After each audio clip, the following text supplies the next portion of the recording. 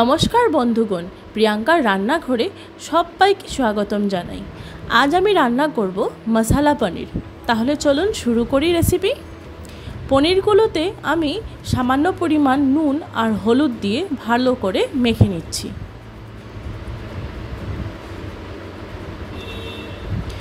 একটা আলুকে ছোট ছোট করে টুকরো করে ওতেও নুন আর হলুদ দিয়ে সেটাকেও মাখিয়ে নিচ্ছি।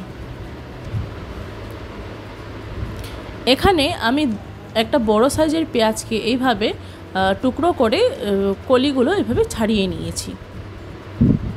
আর নিয়ে নিচ্ছি একটা গ্রাইন্ডার জারে একটা টমেটো, দু তিনটে কাঁচা লঙ্কা, এক টুকরো পেঁয়াজ, আদা, এক ইঞ্চি আদা আর তিন চার খ রসুন।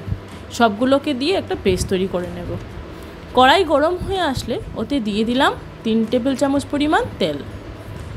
এবারে ওতে পনিরগুলোকে দিয়ে ভালো করে ভেজে তুলে নেব।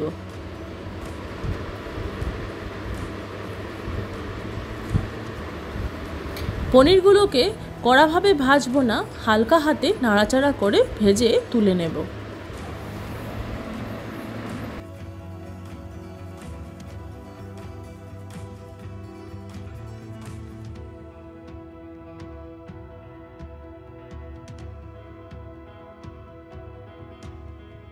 ভাজা হয়ে গেছে, এবার সেগুলোকে নামিয়ে নেব। এবারে ওতে দিয়ে দেব আলুগুলোকে। আলুগুলোকেও ভালোভাবে ভেজে তুলে নেব।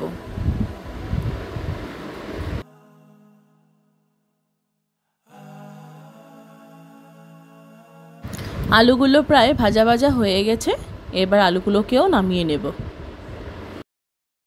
সেই একই তেলে ফোড়নের জন্য দিয়ে দেব পাঁচফোড়ন আর গোটা গরম মশলা, দারচিনি, এলাচ, লবঙ্গ, গোলমরিচ আর একটা তেজপাতা আর দুটো শুকনো লঙ্কা।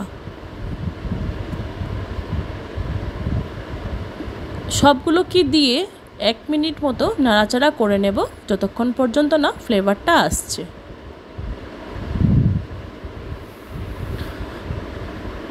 এবারে ওতে দিয়ে দেব ওই কেটে রাখা পেঁয়াজটা।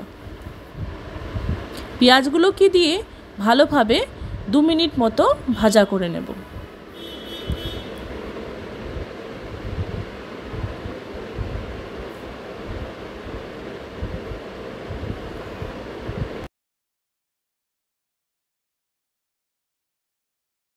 এবারে তৈরি করে রাখা পেস্ট ওর মধ্যে দিয়ে দেব।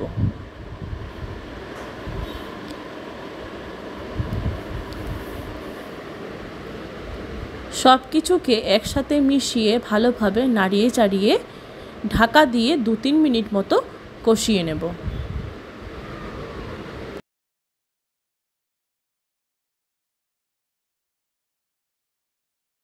ওপর দিকে তৈরি করে নেব একটা মশলার মিশ্রণ। যেখানে আমি নিয়েছি এক টেবিল চামচ পরিমাণ নুন, হলুদ গুঁড়ো, জিরের গুঁড়ো, ধনে গুঁড়ো আর কাশ্মীরি লাল লঙ্কার গুঁড়ো। সবগুলোর মধ্যে সামান্য পরিমাণ জল দিয়ে ভালো করে একটা মিশ্রণ তৈরি করে নেব।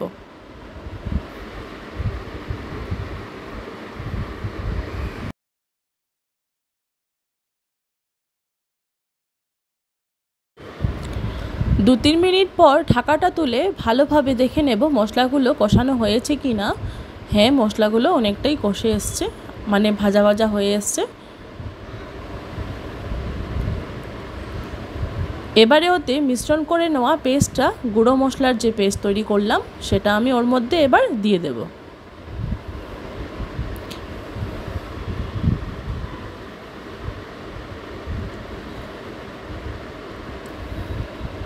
আবারও ভালোভাবে সব কিছুর সাথে মিশিয়ে ঢেকে রেখে দেব দশ মিনিট মতো মিডিয়াম আছে।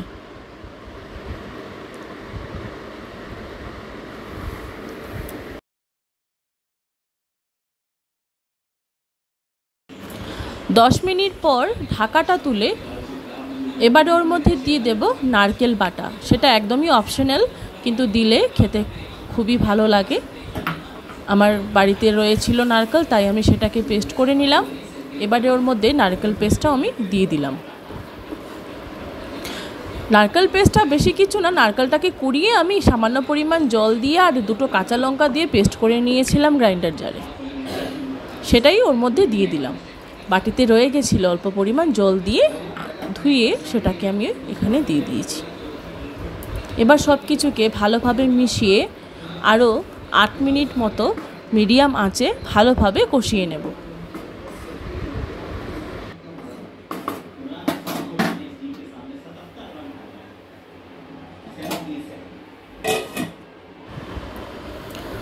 আট মিনিট পর ঢাকা তুলে দেখে নিচ্ছি মশলাগুলো প্রায় কষানো হয়ে গেছে। এবার ওর মধ্যে দিয়ে দেব এক চামচ পরিমাণ গরম মশলার গুঁড়ো। দিয়ে ভালোভাবে নাড়িয়ে চাড়িয়ে নেব।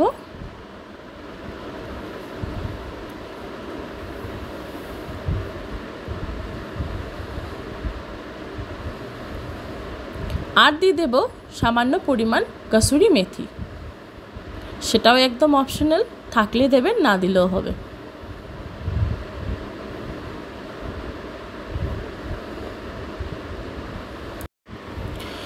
এবারে এর মধ্যে দিয়ে দেবো ভেজে রাখা আলু। আলুগুলোকে দিয়ে আলুগুলোর সাথে মশলাগুলোকে ভালোভাবে মিশিয়ে নেব। তারপর দিয়ে দেব ওর মধ্যে জল। যেহেতু মশালা পনির, তাই জলটা বেশি ব্যবহার করব না। এখানে আমি এক বাটি পরিমাণ জলের ব্যবহার করেছি। এবারে ঢাকা দিয়ে রেখে দেব তিন মিনিট মতো। তিন মিনিট পর ঢাকাটা তুলে ওর মধ্যে দিয়ে দেব সামান্য পরিমাণ চিনি। সেটা যে যার মিষ্টি বোঝেই দেবেন, অনেকে মিষ্টি খায়, অনেকে খায় না। তো আমি এখানে আধা চা চামচ থেকেও কম পরিমাণ চিনির ব্যবহার করেছি। করে আবারও দু মিনিট মতো ঢেকে রেখে দিয়েছিলাম। এবারে ঢাকাটা তুলে দিয়ে দিলাম ওর মধ্যে ভেজে রাখা পনির। পনিরগুলোকে দিয়ে ভালো করে মিশিয়ে নেব।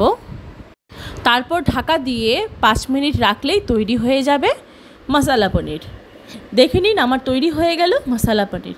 বন্ধুগণ এইভাবে আপনারাও বাড়িতে মশালা পনির বানিয়ে খেয়ে দেখবেন। ভালো লেগে থাকলে অবশ্যই আমাকে কমেন্ট বক্সে জানাবেন। আর প্লিজ যদি আমার এই রান্নাগুলো আপনাদের যদি ভালো লেগে থাকে, তাহলে প্লিজ আমার চ্যানেলটিকে সাবস্ক্রাইব করে দেবেন লাইক করে দেবেন, আর বন্ধুগণের সাথে শেয়ার করে দেবেন। কেমন? ধন্যবাদ।